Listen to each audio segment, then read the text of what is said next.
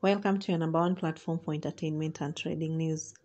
Manchester United player Cristiano Ronaldo and his wife Georgina Rodriguez have been thrown into mourning.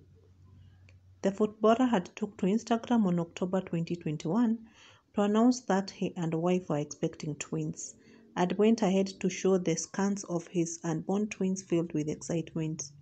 It's so unfortunate that when time for the twins to come to the world came, the boy did not survive, but the baby girl did survive. Ronaldo took to his Instagram to share the tragic news to his fans and followers.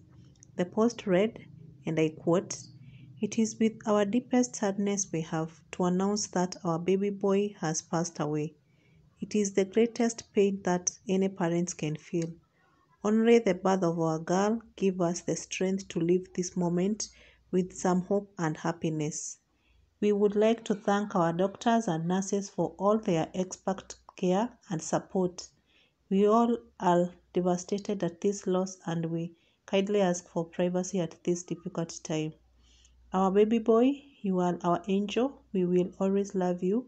Cristiano Ronaldo and Georgina Rodriguez. End of the quote. Condolences to Cristiano Ronaldo's family.